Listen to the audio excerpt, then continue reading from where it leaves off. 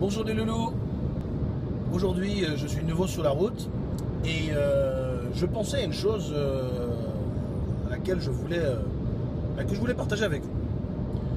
Quand nous sommes en voiture, je trouve que cela constitue une belle allégorie de vie pour nous tous, une belle représentation symbolique pour nous tous et comment certaines situations de la vie se posent à nous. Lorsque nous sommes sur l'autoroute, comme je suis là en ce moment, pour info, je vais à Toulouse.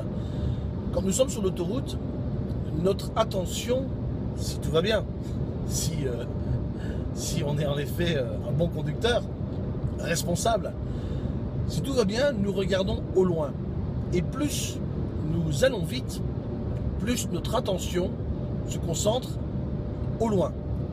Notre focalisation se fait au loin pour pouvoir anticiper ce qui arrive et euh, imaginez un peu si euh, vous regarderiez euh, le bout de votre capot, je ne donnerai pas cher de votre peau pour qu'en quelques minutes vous terminiez contre une glissière ou contre un arbre. Vous voyez où je veux en venir?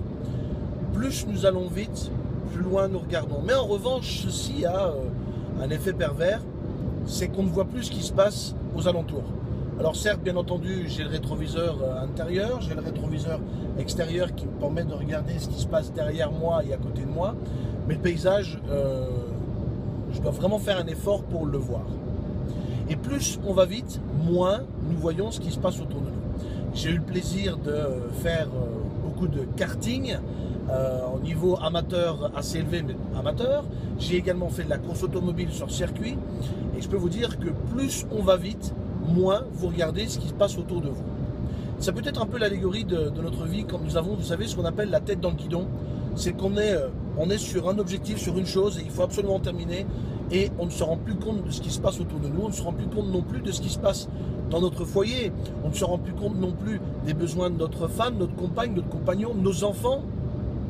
Et on passe à côté, littéralement, de choses réellement essentielles. Alors certes, il y a des moments dans la vie où, euh, cela demande en effet beaucoup de concentration et beaucoup de euh, beaucoup d'attention, mais ça ne peut pas être constant, ça ne peut pas durer sur le temps. Euh, je veux dire, être la tête dans le guidon pendant 6 mois, 8 mois, 1 an, 2 ans, ce n'est pas sain. Vous allez rater beaucoup de choses. Voilà, ça c'était juste la petite pensée que j'avais aujourd'hui euh, à partager avec vous sur l'autoroute. Et demain, je reviens vers vous, vers une pensée qui rejoint celle, que, celle d'aujourd'hui. C'est la trajectoire imaginaire. Je vous en parle demain, vous allez voir. Pour l'heure, je vous dis, simplifiez-vous la vie et soyez heureux. À demain. Ciao.